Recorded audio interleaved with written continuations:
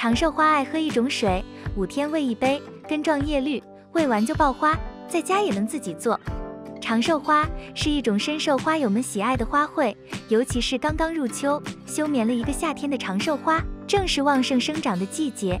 但有的人养的长寿花就是不肯爆花，或者没有花苞，或者开花稀稀落落。其实这个季节让长寿花开花的方法很简单，只要你想，你也可以做到。你家里有养长寿花吗？有在养的，请回复一；没有养过的，请回复零。为了让长寿花开花更多，花色更为艳丽，最重要的就是提供充足的肥料了。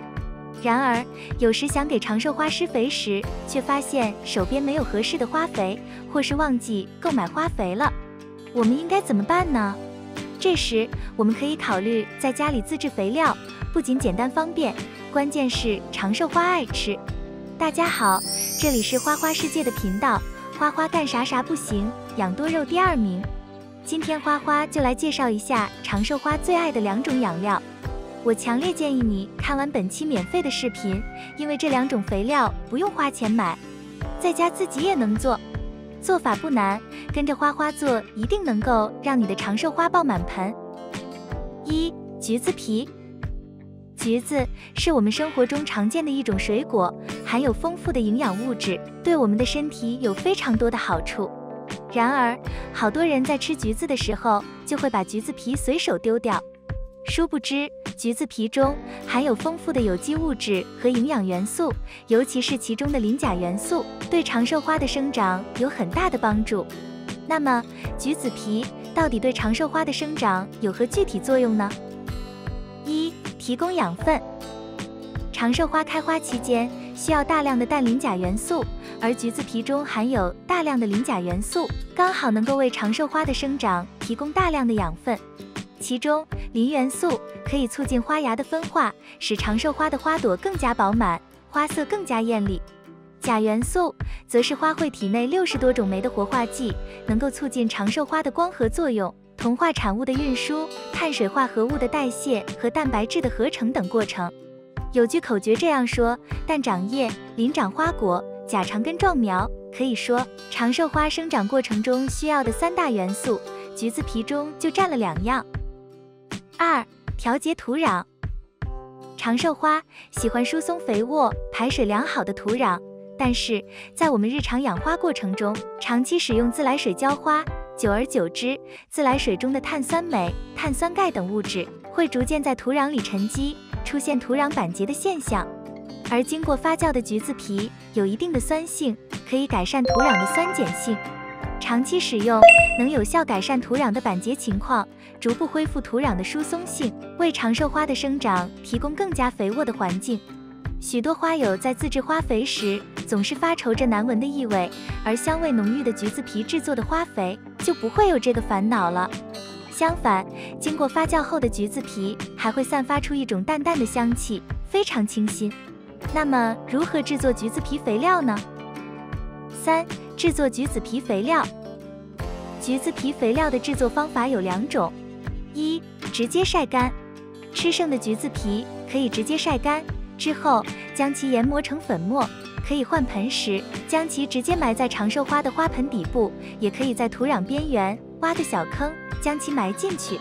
这样的话，橘子皮里的养分能够缓慢、持续的为长寿花提供养分，保证长寿花的茁壮生长。二。制作花肥，先把橘子皮直接切碎，越碎越好，能让橘子皮更加充分的发酵。然后找一个干净的大号塑料瓶，如果家里有废弃的油桶也可以，将其洗干净。在塑料瓶内加入大量的清水，大约到七分满即可。将切碎的橘子皮放入瓶中，大概到九分满即可。这里注意，一定要留有一定空隙。否则，橘子皮发酵过程中产生的大量气体会把瓶子撑爆。把瓶子放在阳光下，让它自然发酵即可。发酵过程中最好每隔两天就打开瓶盖放放气，大概经过四十五至六十天左右就发酵完成了。使用时取出一些橘子皮水，按照一比二十的比例兑水稀释后浇灌长寿花根部即可。现在刚刚进入秋天，过段时间就是橘子上市的季节。喜爱吃橘子的花友，不妨把橘子皮收集起来哦。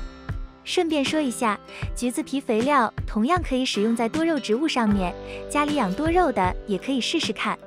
自制橘子皮可以让多肉长寿花长得好，开花多。其实还有另外一种水，也是长寿花爱喝的。这种水是什么呢？这种水就是磷酸二氢钾。接下来就来介绍一下它的功效和使用方法。二、磷酸二氢钾。磷酸二氢钾是一种无机化合物，它在园艺中被广泛应用，尤其对于长寿花这类多年生草本植物有着极好的肥效。磷酸二氢钾含有两种对植物生长至关重要的元素，磷和钾。磷是植物生长的必需元素，参与植物的生长代谢过程，促进植物根系的发达和花果的形成。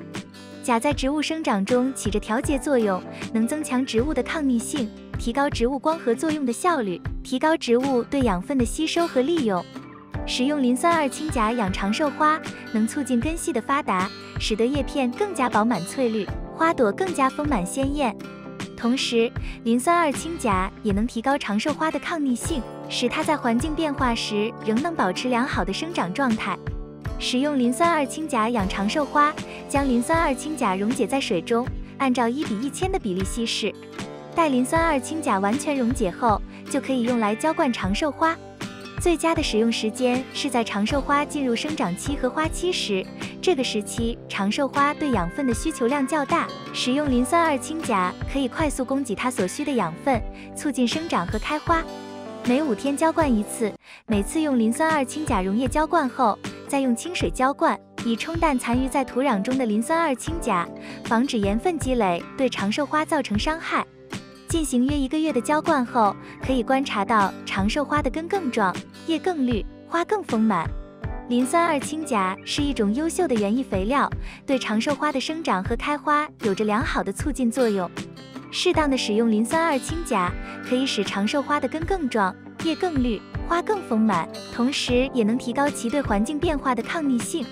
但需要注意的是，使用磷酸二氢钾时要注意按比例稀释，并避免盐分积累对植物造成伤害。在养护长寿花的过程中，磷酸二氢钾是我们的得力助手。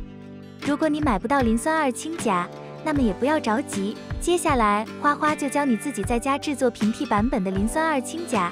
虽然制作起来比较麻烦，但是也不失是养多肉过程中的一种乐趣。快来跟花花一起学习吧！三、自制磷酸二氢钾。磷酸二氢钾的主要成分是磷肥和钾肥为主的，里面还含有一定量的其他元素。生活中的鱼的骨头、鱼鳞、头发。